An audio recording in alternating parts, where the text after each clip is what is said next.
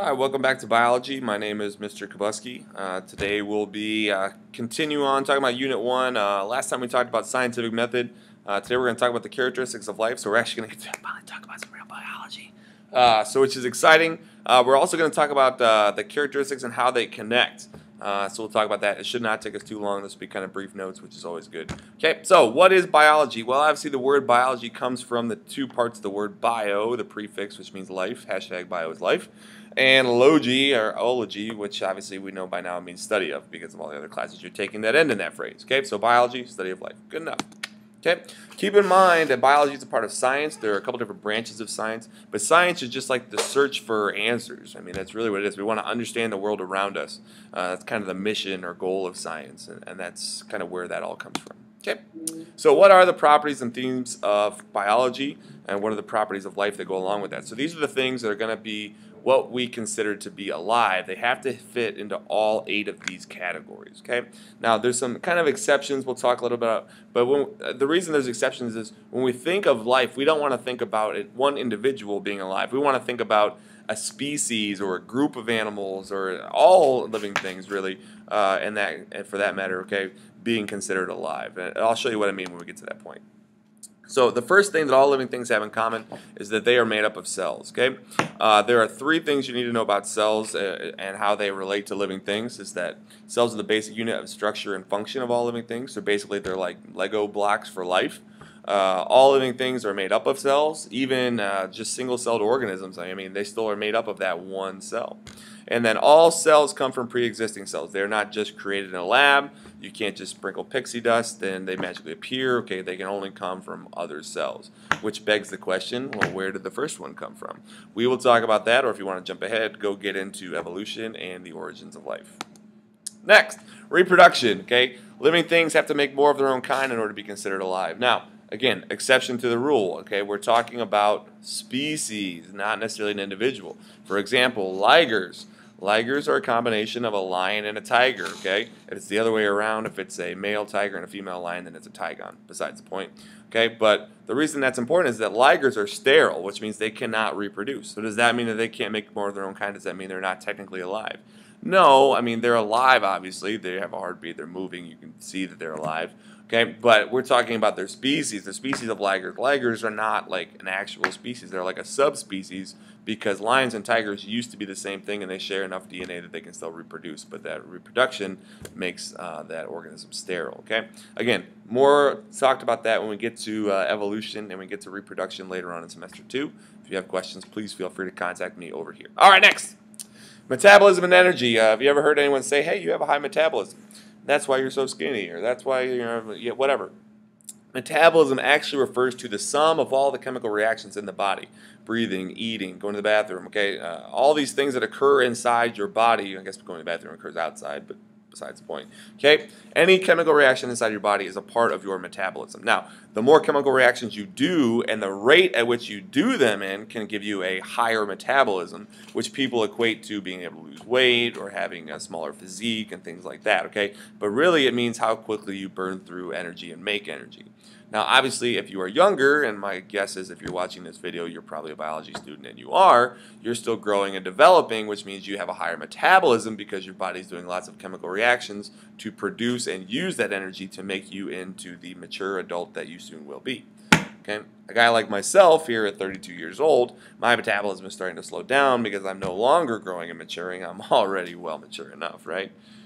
Yeah, right. Okay, anyways, moving on. Homeostasis, okay? Homeostasis means maintaining internal balance in spite of changing external conditions. Okay? It's the reason when you go outside and it's cold, you shiver, or when you go outside and it's hot, you sweat. It's the reason that you have to go to the bathroom right now as you're sitting here and want me to finish up talking about this, okay? Homeostasis means our internal conditions. There's certain levels that we want to be at, okay? And if we get out of those levels, our body is going to correct itself and get us back to those levels.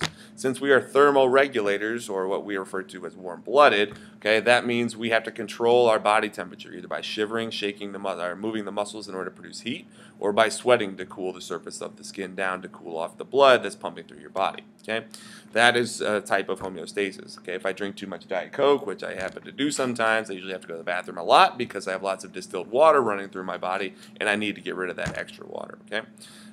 Different topic. I know I shouldn't do it, but anyways. Okay. Next, DNA heredity.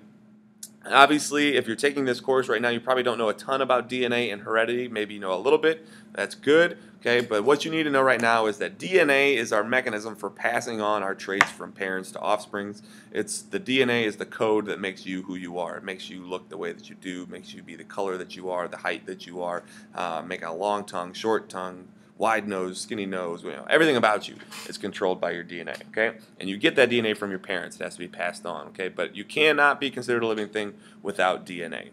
Kind of important. Next. Oh, I'm sorry. Responding to your environment or interdependence. This is kind of a tricky one, okay? Because it's like two ideas combined into one. Responding to the environment means you respond to stimulus, okay? When it's bright outside, I tend to squint a lot like this people say hey, when I smile, they can't see my eyes. Besides the point. But what it means is that my body is responding to a stimulus. The stimulus being the sunlight, it's reacting to it. You know, my pupils will will squeeze. You know, so I'd let less sunlight in.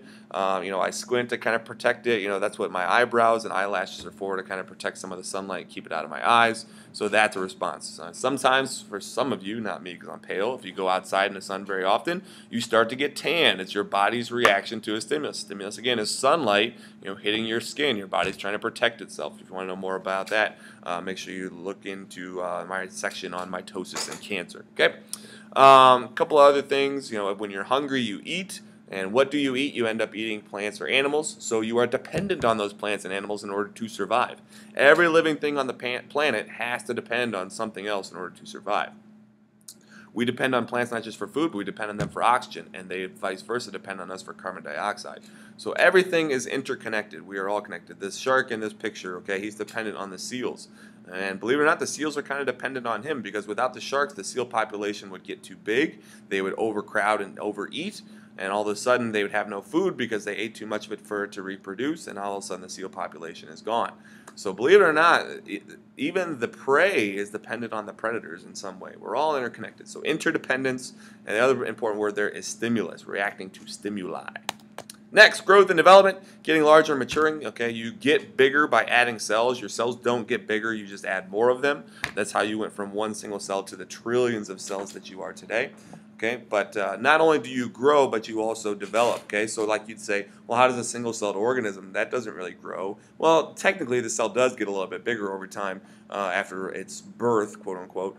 Uh, but it does develop. It matures. It becomes an adult. Now, it does it at a more rapid pace than you and I. Okay, but when I say maturing, I mean like becoming an adult scientifically, not an adult like, oh, you're so mature, you can handle these topics now. No, that's not what I mean. Okay, so growth and development is another uh, characteristic of life.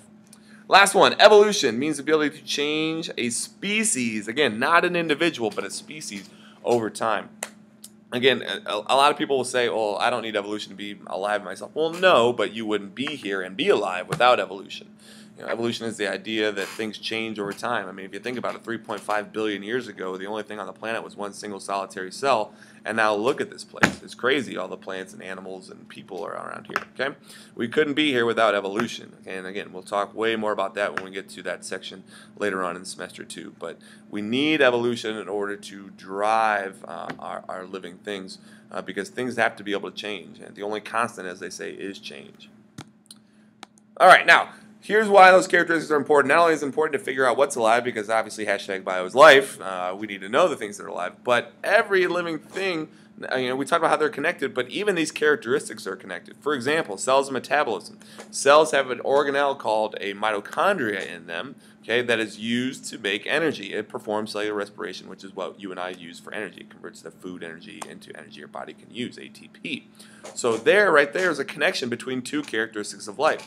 Energy, okay, metabolism, I'm sorry, and cells, okay? So those are interconnected. You could talk about some other ones, okay?